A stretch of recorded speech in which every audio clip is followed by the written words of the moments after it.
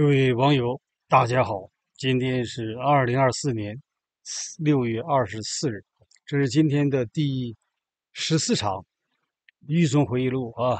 现在光线有点暗了，这个暮色苍茫的啊，但是太阳不晒，也没下雨啊，所以这个气候是非常好的啊，呃，便于一个人回忆呀。那么确切的时间哈，我刚讲到了，就是我对郭起来的。一些最初的看法，以后还会讲啊。那么我要讲一下，就是和这个刘达文接触，呃，也就是国家安全部，呃，大连市国家安全局告诉我，国家安全部啊，把这个前哨开放这些杂志定为反动刊物。以前我不知道有这个，还有这个词儿啊。呃，我理解那个反动是什么，就是倒退。呃，民主法治往前走就要前进，对不对啊？我认为它恰恰是个是个先进的家杂志，而不是反动。应该是你镇压它，你打击它才是反动，对吧？反动是倒了倒过来动嘛，是吧？逆历史潮流而动嘛，逆民主潮流叫反动。不，他这样他说定性就是反动杂志。那么你给这个杂志投稿啊，国家安全部就定性为什么呢？向境外非法提供国家秘密。这这个最起步就是就是五年，五年以上啊，很吓人啊。后来他也是给我这样定罪的啊！我要告诉你，他就当时追问呢，呃，你什么时候就认识这个刘达文的？就在《前哨》杂志啊，《金钟》就这些人，他把这些人定为什么？我才知和他们接触，我才知道，定性是为这些人都属于这个呃反动分子，有敌对势力，海外的敌对势力啊。我原先那个认知不是这样，我我原先认知认知是什么？你不管是左中右什么杂志。呃，报刊、网络，你办完以后都是文人啊！我喜欢和文人交朋友，不管他什么什么刊物、什么倾向。我甚至还以为，我个人到现在是个认知，就比如他办这个杂志，比如说报纸是，呃，是宣传一种强调。他本人在里干，他未必赞成那个，就是为了生活。那那可能里面也分各种群体啊，都可以交往。你即使有不同观点，也可以交流啊，百花齐放，百家争鸣嘛啊！我是个蛮宽容的人，就到现在为止，我的朋友当中。有好多是他们本身的政治观点和我不一样，但是仍然和我处的也非常好哈。呃，我也没没有发现他们有什么出卖我的，没有哈。我要我讲清楚，有的人甚至不知道我是还还发表言论的哈。就是我思想是一直是呃一个一个观点，就是不要以你观点来划线，好像你你是非红就白啊，你这不是反动就是就是什么就是呃就先进的哈，那极端的我不认为哈，就包括挺过砸过这都。我都很不理解，有的是死去活来砸的，有的是挺的是，呃，如如醉如痴，都不正常啊。就是其实正常，你就一般的看待这个一些生活当中的现象啊，尤其是自由表达。那么这个时间点就是一九九七年九月七号这一天，我记得特清楚，就在香港开会，就那时候在地摊上买了《前哨》杂志，很多杂志，很多书啊，然后读。那时候我就感到新奇，我就觉得香港好好在哪里，不像内地。就同一种事件有不同的观点，哎，这很好，这不就像那个春秋战国那个时代说百家争鸣嘛？我最喜欢这样啊！一个事件发生，我不喜欢一种声音、一种观点，我也不认为人要是和你观点不一样，你就马上翻脸就要怎么样，我不认为。而且争论一定要有个结论，我认为不可以有结论的啊！一个是多元的社会，多种声音永远是并存的才正常，而且互相之间还能一起交流啊，还能一起合作，叫共和嘛，对吧？要什么叫共和国？说中国现在共和国是个假象，是个骗，欺骗啊！同样，生活当中我见到这些官员，我最喜欢的官员就是什么？就像那个于学祥这样的，他做什么事他出于公心呐，他看你这个事大方向，哎，就对大连也有好处。是大连的好事那个那个笑容，你看就像大男孩一样，特别灿烂，你发自内心就阳光。文世镇也是哈，文世镇也是这样类型的人。我发现草根阶层的，就来自于苦难家庭的哈。成长起来的共青团派，那就是跟我接触的啊，一般都比较好。凡是他爹他妈是当官高干的、有钱有势的人物，基本上很难斗。我跟你讲，首先他看你，他觉得你你第一个档次，档次第一个档次哈。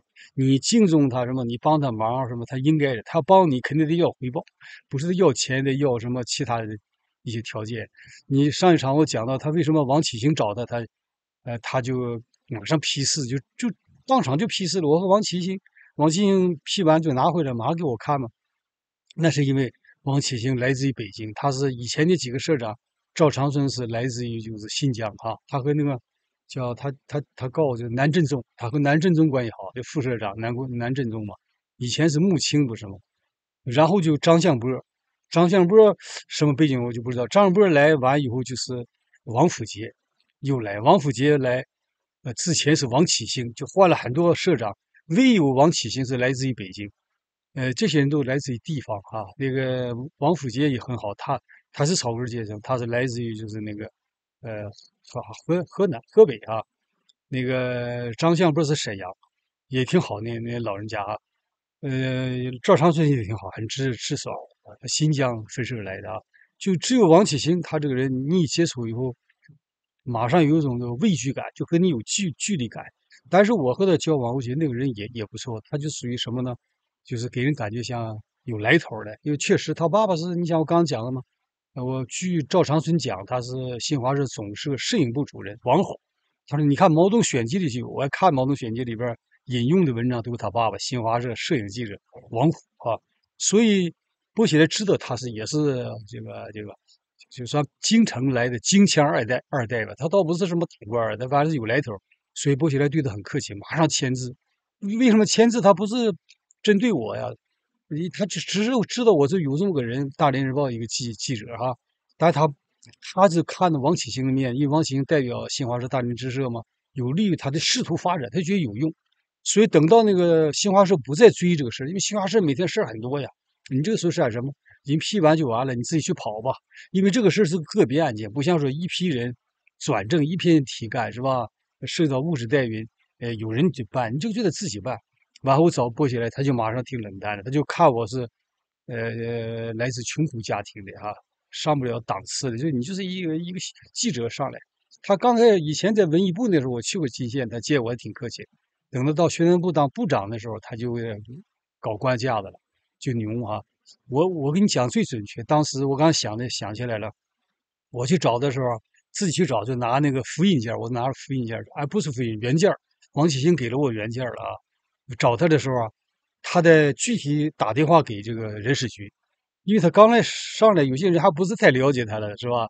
他批了以后这很重要，呃，他正好和一个女那个女性高，我记得是是大连市委宣传部一朵花，长挺漂亮，在房间里谈谈话，没有别的事，就谈话。中午的时候哈，傍中，哎，不是中午，一大早啊，在这谈话，我敲门半天不开，过一会儿他终于出来，出来他有点生气，他说我正在谈。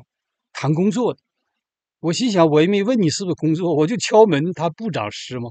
我没没表态，我就把那个拿出来，我说，呃，王王启兴啊，那就是说上司找你批这个事儿，呃，但是现在呢，那个还要最好方便安排一个人给，就是人事局啊，就疏通一下，再具体办。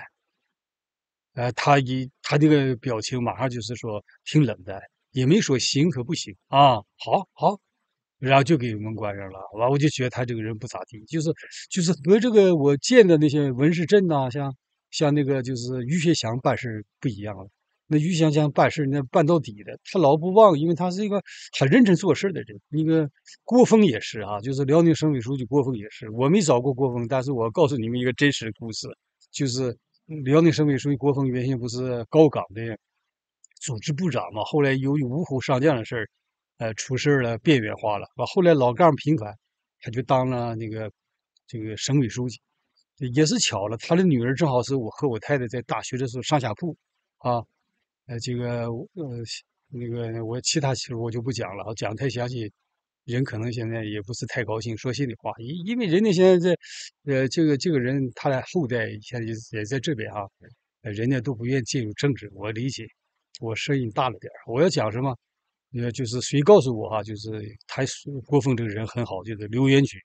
我就我零六年从监狱释放，零七年我到呃深圳，那时候刘元举混混好了，就是他在鸭绿江退休了，他到那个深圳作家协会啊，专门给他租了个房子，呃，就在那个就是那个呃不这个这个呃习习仲勋住那个地方的旁边，呃一套房子公寓啊。啊，他就跟我讲，他怎么到了鸭绿江杂志社。他也和我一样，他是新津县建筑公司的瓦工，我老去看他，你我也是，呃，批口搞那个文文学创作会议，我认识他的，对吧？当时咱们的老师是张从谦、张琼和江凤清，江江凤清，还有高满堂嘛，张江，就就是这个圈子里，还有叫范地的，后来当官了啊，好像搞经济了，刘俊立啊，还有沙任昌，呃，这个刘汝达，这这个圈子都发展起来，成为作家或者诗人，都有名了。那么，呃，这个这个刘元举他就跟我一起考大学，没考上，他说。瓦房普兰店的，他家是普兰店镇的。然后呢，他挺上火，完他就创作，他写的好，到处投稿，发了好多好多发表。但他没有编制，他是工人编制。你想，他就写信给这个省委书记，呃，郭郭峰，他告诉我的啊，这他讲，这咱没有接触过，不像我直接接触过起来。他说郭峰就批示了，你就想，郭峰也是出于公心呢。你是一个工人，你写的好，他是和我一样，他就把他那文章影印一大堆，就寄给这个。那叫特快专递就借给郭峰了。我叫什么名叫刘元举，我在这个辽宁省新县普兰店镇建筑公司的工人。我发表了这作这作品。我现在想到这个辽宁省文联工作，想鸭绿江编辑部当编辑。凭我的才能，应该 这个这这和我一样，咱们都属于这个类型的。然后郭峰就批示了，你你就想这个这个省委书记多好，这个人他就批示了，很重视这个事他一看他的作品。这不和我一样？一看你这写的好，庐山有会，那不好事吗？就和于学讲一样，说那时候的领导干部啊，说心里话，没像后来那些全要钱，那个思想都精神污染了，索费、索贿、受贿、敲诈勒索，什么哎呀，他又是权钱交易、权色交易，那时候没有这事儿。那郭峰就批示，完后他就调到《鸭绿江》杂志，一下成为你干部。你就想想，后来他是《鸭绿江》杂志副总编啊。那时候于中信还在，于中信部队死人嘛。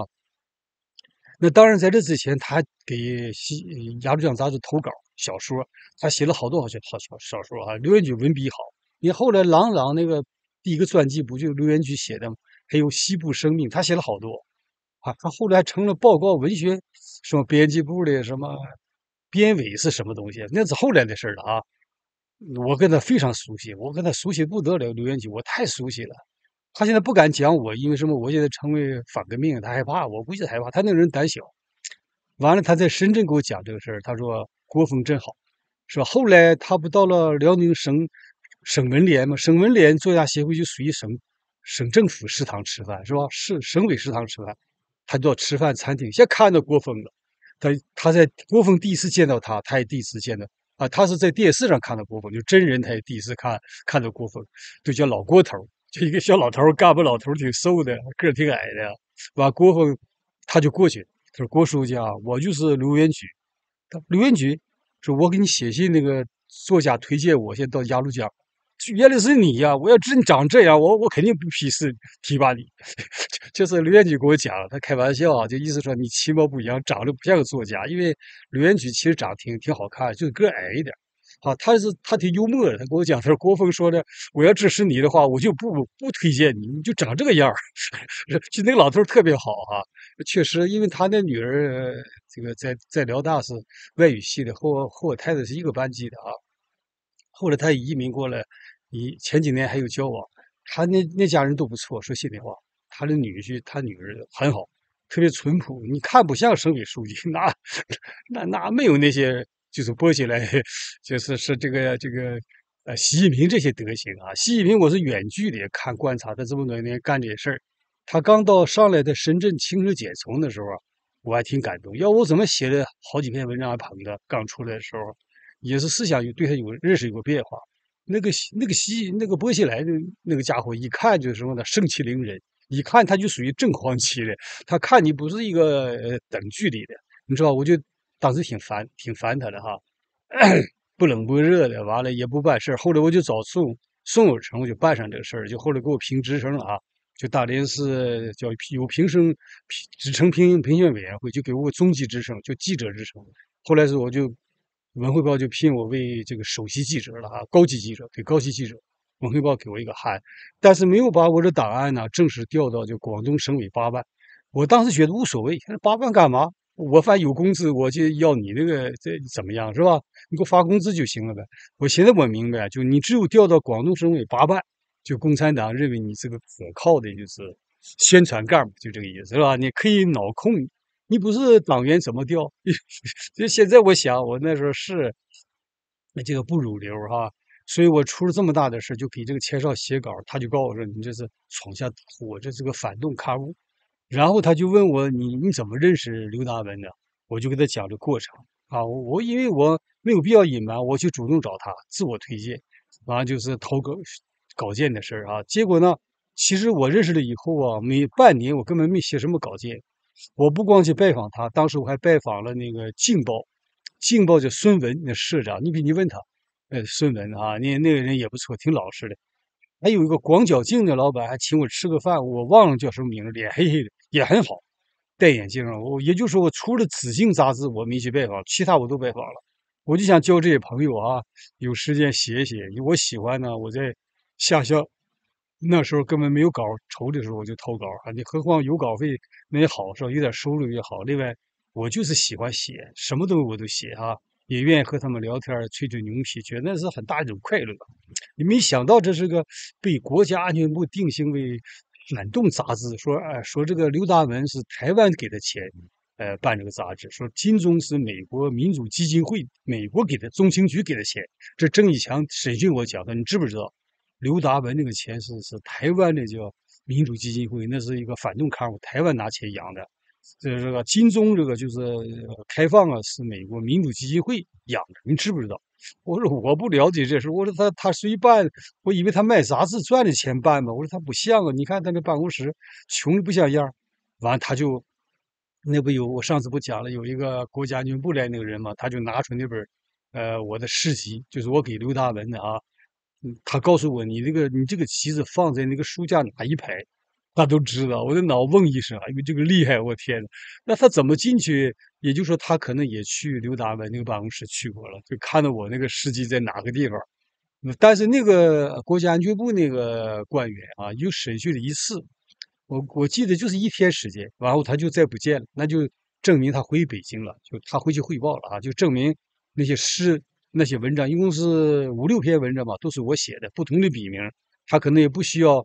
他这个法律专家去研究修辞逻辑是吧？推断我，因为我也承认是我写的，那是我的笔名啊。